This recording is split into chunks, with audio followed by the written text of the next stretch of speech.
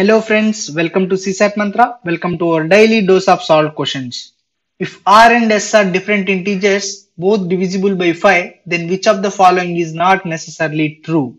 This is a previous year question from number system, my friends. We are asked to find one option which is not necessarily true.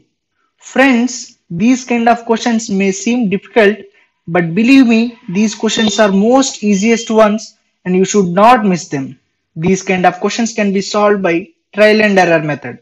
So let's take two simple numbers which are divisible by 5.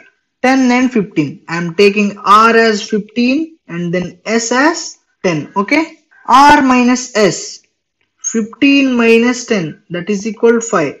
5 is divisible by 5. So option A is true. 15 plus 10 R plus S. Okay. That is equal 25. 25 is not divisible by 10 okay so option b is not true. So that's your answer my friends. You no need to solve further. Let's check the option c and d. 15 into 10 r into s that is equal 150 150 is divisible by 25 25 into 6 right? That is equal 150 r square minus s square that is 15 square minus 10 square which is equal to 225 15 square is 225 and 10 square is 100 that is equal 125 125 is divisible by 5 so option c also true option d also true.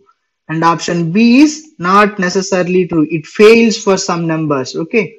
So that's your answer my friends. For more solved questions and concepts please visit csatmantra.com if you have any queries feel free to call us or mail us.